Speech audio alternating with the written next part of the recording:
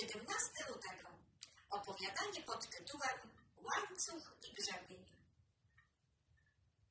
W pewnym zakątku świata żyło kiedyś dwoje małżonków, których miłość nie przestawała rosnąć od pierwszego dnia ich ślubu. Byli bardzo ubodzy i wiedzieli, że każdy z nich nosił w swoim sercu niezaspokojone pragnienie. Miał w swojej kieszeni złoty zegarek, który otrzymał od swojego ojca. Z całego serca marzył o złotym łańcuszku.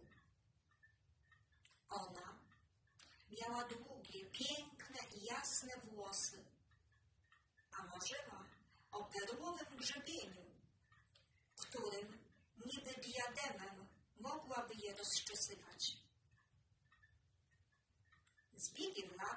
Mężczyzna coraz bardziej marzył o grzebieniu.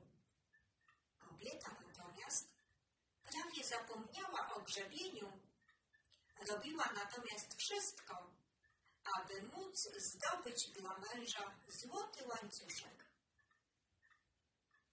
Od długiego czasu wcale o nich nie rozmawiali, ale ich serca nie przestawały myśleć o tym ukrytym marzeniu.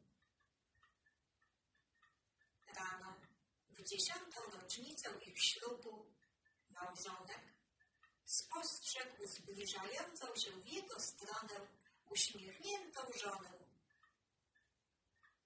Jednak jej głowa była prawie całkiem ogolona. Znikły jej piękne, długie włosy. Co z nimi zrobiłaś, kochana? Zapytał pełen zdziwienia. Żona otworzyła swoje ręce, w których migotał złoty łańcuszek.